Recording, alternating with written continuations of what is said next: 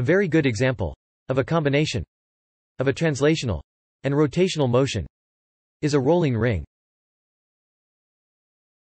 If we look at the path traced by a point on the circumference of a ring, then its motion seems to be quite complicated. However, the center of mass of the ring can be seen to be moving in a straight line. If we switch our frame of reference to the center of mass of the ring, then the ball appears to be having only a rotational motion. Let us attach a ring to a movable rod at its center of mass and then give it a rotational motion. Now, if we move the rod like this,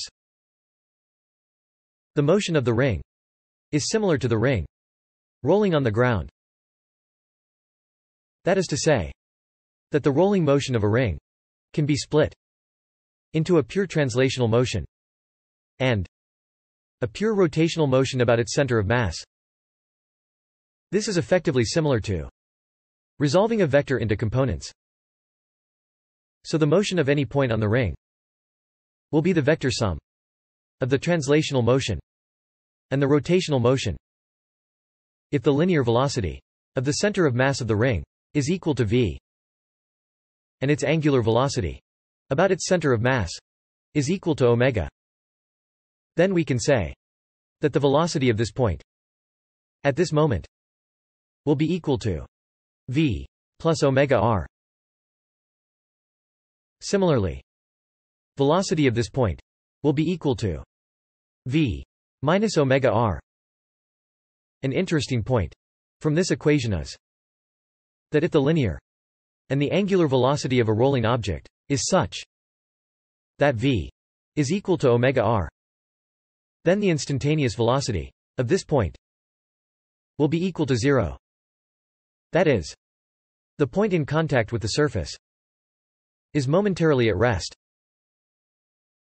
In fact, if we look at the motion of a rolling ring, we can say that the distance moved by center of mass will be equal to this length of its circumference, which can be written in terms of angle theta as r into theta.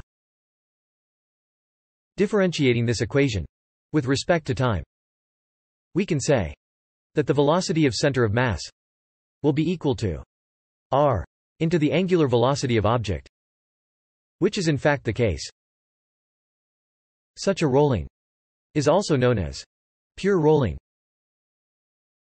We can infer the same by saying that as the object is not slipping over the surface like this or like this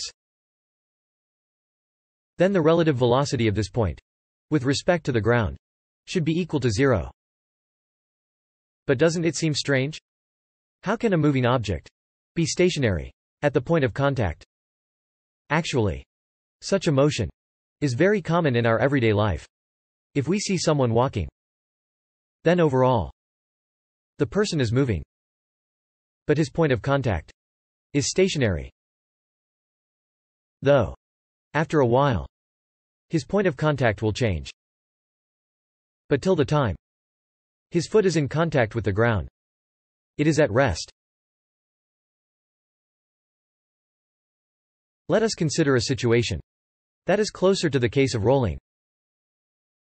If we consider such a motion of this object, then though the object is moving forward, but its point of contact does not move. After a while, the point of contact is a different point. But still, as long as it is the point of contact, its velocity, relative to ground, is zero. Now, if we increase the number of sides of our object, then the point of contact will change more frequently. But the instantaneous velocity of the point of contact remains zero. Increasing the number of sides to an extent that it becomes a round object. We can say that though its point of contact will change every instant, But just for the moment. That point is in contact with the ground. Its instantaneous velocity is zero. Here you must note that this argument has arrived from the fact that the relative velocity of the point of contact with respect to the surface over which it rolls is zero.